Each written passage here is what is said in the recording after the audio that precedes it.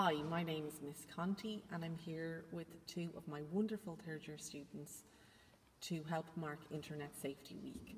We're going to share some advice with you around internet safety. Our first tip is get informed.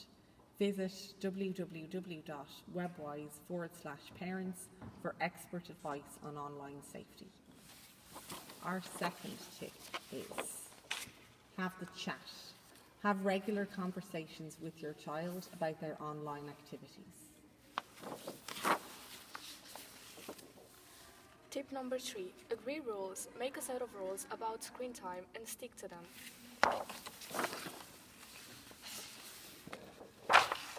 Tip number four reassure your child that they can talk to you about any issues that they have online. Tip number five lead by example. Model good behavior online so you can be, a good role model for your child.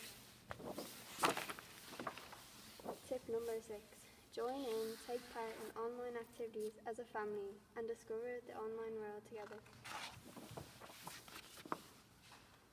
And remember our first tip to visit www.webwise forward slash parents for expert advice on online safety.